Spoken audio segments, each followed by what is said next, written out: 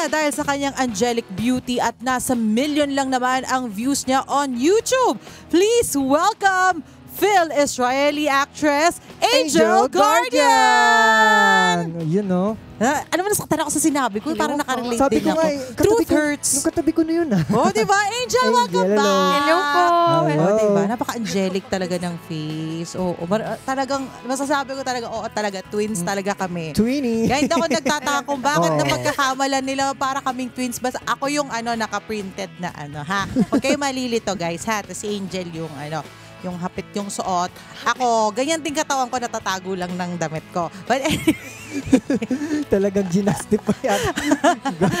Kamusta naman si Angel? Okay naman po, masaya. Ayan, mukha naman Masaya. talaga. Ano sekreto at ah, lagi tayong blooming, lalong gumaganda? Talaga po ba? Oo Blooming naman.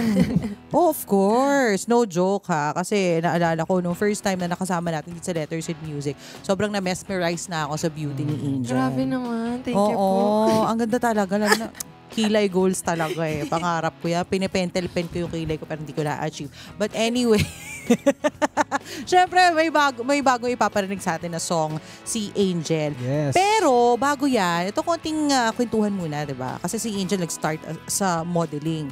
So paano na-discover si Angel sa pagmo-model? Pinasok po ako ng mom ko sa modeling workshop kasi Mhm. sobrang mahihain daw ako ng bata. Talaga nga. Opo, so ngayon, ang kapal na ng mukha ko. So, Kalain mo yun, oh. Yan yung nakakatawa no bata ka, mahihain ka. Tapos akalain mo ba na biglang nasa stage ka, magkakanta ka, nasa TV ka, arte ka. totoo.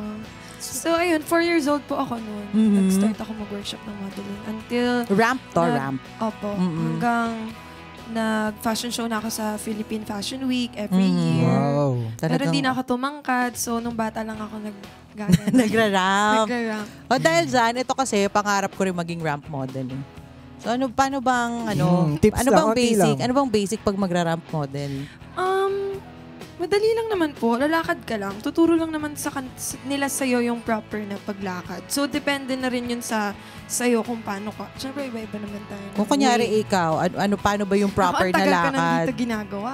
Matagal ka na ba hindi naglalakad? Naglalakad naman po, pero hindi na ako Yung rumarampa. rampa daw din na O tagal-tagal na ba? So pagkakatanda mo, ano ba ang tamang way Um, ng pag-ramping? Naka forward na yung isang paa mo. Ah. Baka applicable naman sa Strike ka boys ng din yan. pose. Sundan At least ko. three beats and then nilakad ka.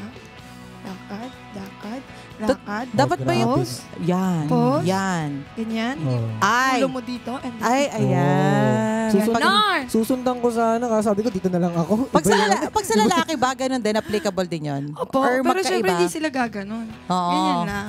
Tapos yung lalaki, pag Pwede na ba to? iiwan din ganun yung... Opo, ganun din yun. Parang Ah! last look dapat. Oh, Para diba? merong may iwan dun sa Ah. audience. Oh, magandang tip yan, magandang tip ha. But anyway, ito naman ha, syempre from modeling napunta Yes. naman sa singing. Paano mo na-discover yung ah, yung talent mo? Magaling ka pala kumanta. Hindi ko nga po yun dati alam eh. Kailan mo nalaman? Anong 10 years old na po ako nung natuto ako mag-guitar. Mhm. Doon ko na-realize, hindi pa ako yung mga tao na parang, uy, marunong ka pala kumanta. Ganyan. Sabi Ah. talaga.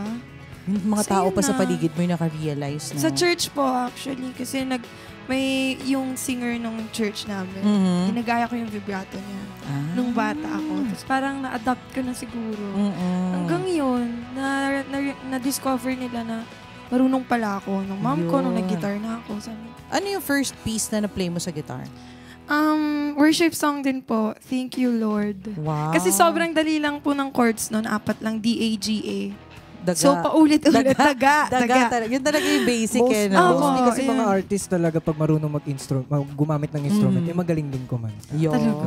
Oo. Eh, pero ito, nag-voice lessons ka ever? Hindi. Sobrang tagal na po. But, yun din po, mga 10 years old. So, hindi ko na rin matandaan yung, Yung, ano, yung mga tinuro oh, sa'yo yung nun. mga tips and paano. Kaya gusto ko nga po talaga mag voice Re- lesson ulit. Refresher, gano'n. Opo. Kumbaga. Refresher Para- course. uh, Sino ang mga influences ni Angel? Siyempre, Billie Eilish. Sabi na yun. yun Yung boses pa lang kasi yung Talaga ba? Paos, laging paos. Ganda nga eh, no? ano yan eh? malambing Sariling na, ano yan, kanya-kanyang kanya-kanyang structure ng Yes, instrument mo yan. Tapos yun, Mhm. ganun talaga eh. Yun yung, ble- yung blessing na instrument ni ni Angel. Kaya husky. So si Husky. Billy. Pero, Sa- pero sa- malumanay Oo. na husky. Sa OPM, meron ka bang tinitingalang singers? Up, Dharma, Down. Up Mm. Dharma. I'm a fan. Oo. O ito naman, pag-usapan na natin ang bagong single. ni Yes. Oo, kwentuhan mo kami about the song. Ikaw ba Ayan, nagsulat nito? Hindi po. Si Nikki Del Rosario po, same person po na nag-compose ng tala. Sabi na yun. So, Oo. May dance step din ba to? pwede naman po. Basta ako, labas na naman ako dyan. ah. Wala bang Mamaya. dance step yan? O, napanood ko yung sinabi ni Teacher Joyce, boom! Meron daw da. Tapos po, bukas ganun yung kamay. So, tungkol saan naman yung song? Ito ba isinulat, Um, ikaw ang nasa isip niya Mm. nakakanta nito? hindi po yata. Kasi, pinarinig lang po nila sa akin yung song. eh. Tapos, nagustuhan ko. Anong Kasi- meron sa song na nagustuhan ni Angel? Mas ako po to, itong Mm. song na to, yung second single. Kasi, siguro sa beat din, sa takbo Mhm. ng song, ganun din kasi hilig ko, ganito, mga ganitong Sa song. message naman, Sa message, sobra rin nakaka-relate. talaga. Tungkol sa Kasi- no sound?